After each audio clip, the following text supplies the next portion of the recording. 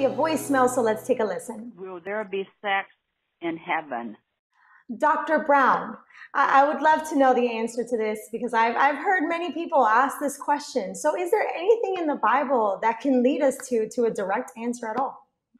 Sure, sure. Thank you, uh, Kenya. Yes, well, the Bible is wonderful in giving in giving principles, and um, you know, in Matthew chapter twenty-two, uh, our Lord Jesus uh, made some comments that are helpful. He talked uh, uh, uh, uh, uh, about a situation where the Sadducees came to Jesus and they were saying, well, if a certain person dies and he has seven brothers and uh, a brother marries uh, the, the, the widow uh, to keep children uh, on behalf of their brother, uh, and then that brother dies and another brother comes and marries and so on and so forth, and all seven brothers, who would have this woman as their wife when it comes to heaven. And Jesus says in in uh, verse 29 of Matthew chapter 22, Jesus answered and said to them, You are mistaken. In other words, your question is invalid. You are mistaken, not knowing the scriptures nor the power of God, for in the resurrection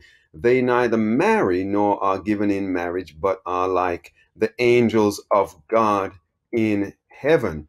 And so, what this really tells us, when we look at uh, at God's gift of sex, uh, we believe as Christians that sex is clean, uh, sex is holy, sex is God's gift, God's wedding gift to every married couple, and it is a gift that He doesn't want us to open early.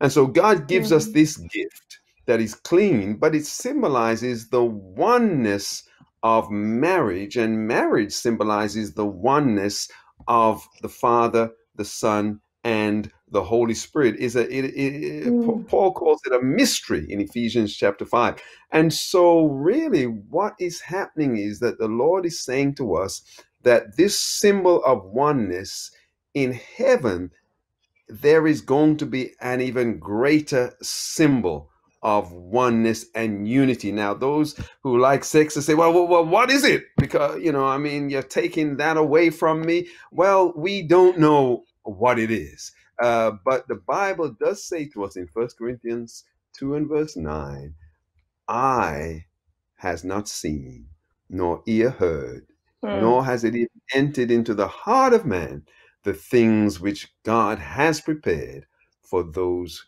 who love him. And so we trust God that this wonderful symbol of unity and oneness is going to be even greater. Some don't know what's greater than chocolate, even. No, no, no, it'll be greater than anything we've experienced on this earth.